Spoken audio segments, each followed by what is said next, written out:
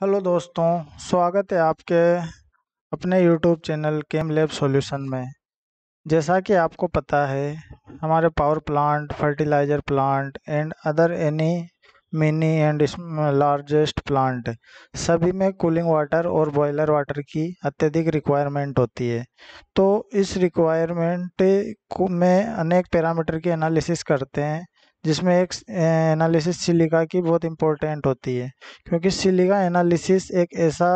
Part है जो पूरी बॉयलर की एफिशिएंसी एंड कूलिंग टावर की एफिशिएंसी पे डिपेंड होता है। तो सिलिका जितनी ज़्यादा होती है, हमारे बॉयलर्स में ट्यूब्स चौक होने की और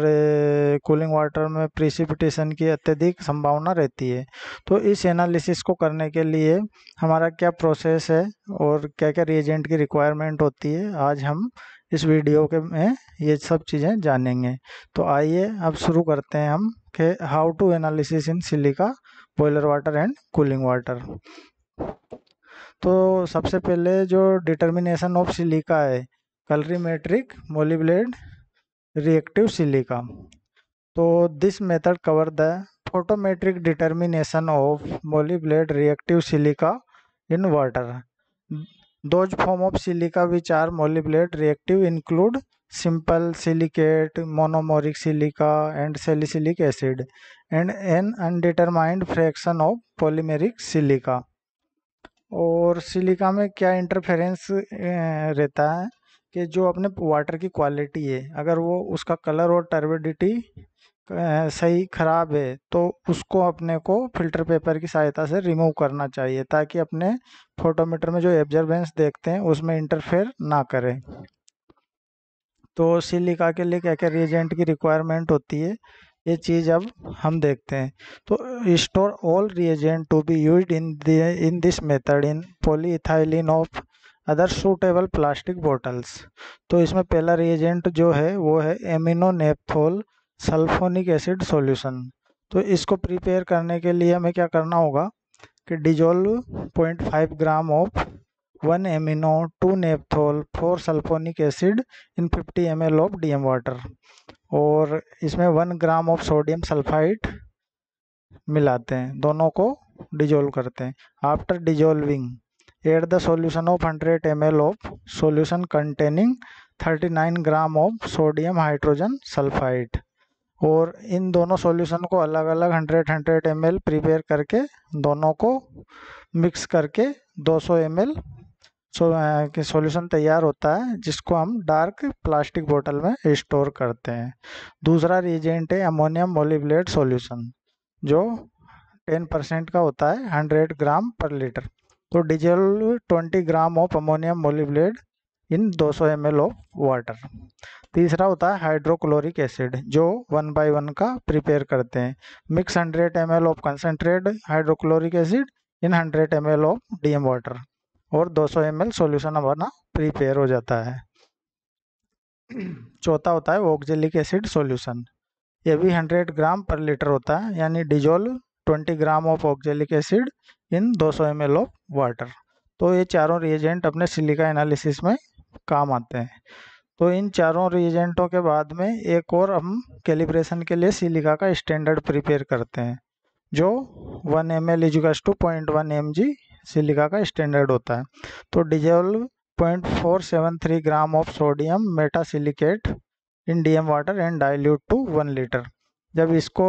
point four seven three gram को सोडियम मेटा सिलिकेट को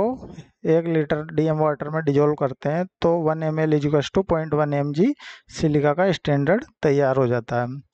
अब आगे हम क्या करते हैं? Calibration and standardisation for standard in the twenty to hundred microgram per litre range, set the spectrophotometer at आठ सौ पंद्रह and read the absorbance of each standard against the reagent blank. जो रिएजेंट ब्लैंक के रूप में अपन काम लेते हैं तो जो चारों अपन ने सॉल्यूशन प्रिपेयर किए थे S C L oxalic acid ammonium molybdate और अनसा इन चारों का रिएजेंट ब्लैंक प्रिपेयर करके फोटोमीटर में ब्लैंक सेट करते हैं। उसके बाद में जो अपन ने सिलिका का स्टैंडर्ड प्रिपेयर किया है, उसको 22 टू एक हज़ार माइक्रोग्राम पर लीटर रेंज में अलग अलग स्टैंडर्ड अपन सेट करते हैं और उनकी एब्जर्बेंस जब 815 एनएम पर देखते हैं तो प्रत्येक की जो रीडिंग अपने को एब्जर्बेंस मिलती है, उसके लिए लीनियर ग्राफ प्लॉट करते हैं। तो prepare a calibration curve for measurement at 815 NM by plotting absorbance versus concentration of graph तो जो ग्राफ आता है, ये आता है microgram per litre on linear graph paper अब सिलिका एनालिसिस की प्रोसीजर प्रोसीजर में क्या करते हैं कि transfer 50 M L of an aliquot diluted to 50 M L of the sample that this been filtered through 0.45 milli micron membrane filter अगर इसमें turbidity है और कोई इम्प्योरिटी है तो 0.45 मिली माइक्रोन फ़िल्टर पेपर से इसको पहले फ़िल्टर करते हैं और इसको 50 एम तक मेकअप करते हैं। तो जैसे सिलिका की रेंज के अकॉर्डिंग अपन सैंपल वॉल्यूम लेते हैं। जैसे किसी में सिलिका ज़्यादा है तो अपन एक एम एल दो एम एल पाँच एम एल दस एम एल कितना भी सैंपल ले सकते हैं एक आइडिया से। और उसके बाद में उसमें जितना वॉल्यूम शेष फिफ्टी एम एल करने के लिए जितना शेष रहता है, उसमें डी एम वाटर मेकअप करके और अपन एक निश्चित volume fifty M L prepare करते हैं। अब फिफ्टी एम एल प्रिपेयर करने के बाद में इसमें पहला रिएजेंट डालते हैं two M L hydrochloric acid जो अपन ने वन बाई वन का प्रिपेयर किया था। उसके बाद में दो M L ammonium molybdate solution डालते हैं और बीकर को अच्छे से हिलाते हैं और एग्जैक्ट पाँच मिनट के लिए रख देते हैं। पाँच मिनट पूरे होने के बाद में दो एम एल एक्जेलिक एसिड मिलाते हैं, फिर उसको मिक्स करते हैं, फिर दो M L of amino naphthol sulphonic acid मिलाते हैं। इन दोनों रिएजेंट को डालने के बाद में इसको दस मिनट के लिए रख देते हैं। प्रॉपर मिक्स करके और टेन मिनट वेट करते हैं। उसके बाद में जो अपने को रिएजेंट ब्लैंक जो फोटोमीटर में रिएजेंट ब्लैंक सेट करना है तो चारों रिएजेंट का ब्लैंक सेट करते हैं और ऑटो ज़ीरो करते हैं फोटोमीटर को। ऑटो ज़ीरो करने के बाद में फिर अपन सिलिका की एब्जर्बेंस देखते हैं। तो prepare a reagent blank by treating a 50 M L of aliquot of water measure the absorbance of the sample at eight one five N M against the reagent blank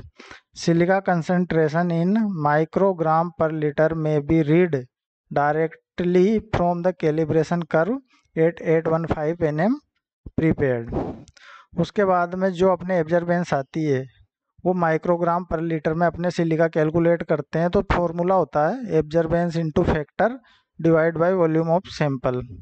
तो जो absorbance है, वो अपने photometer direct दिखाता है। Factor जो अपने linear graph से प्लॉट करके और कैलकुलेट करते हैं, वो फैक्टर होता है और जो वॉल्यूम ऑफ़ सैंपल जो अपन ने लिया है,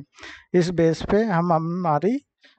सिलिका ज्ञात कर सकते हैं। तो कोई सा भी बॉयलर का सैंपल हो या कूलिंग वाटर का सैंपल हो, उसमें हम सूटेबल सैंपल वॉल्यूम लेकर ये प्रोसीजर अपनाकर हम अपनी सिलिका कैलकुलेट कर सकते हैं माइक्रोग्राम पर लीटर में। तो थैंक यू वेरी मच आपको हमारा वीडियो कैसा लगा? अगर वीडियो पसंद आए तो प्लीज़ लाइक करें शेयर करें और हमारे चैनल को सब्सक्राइब करें। Thank you very much okay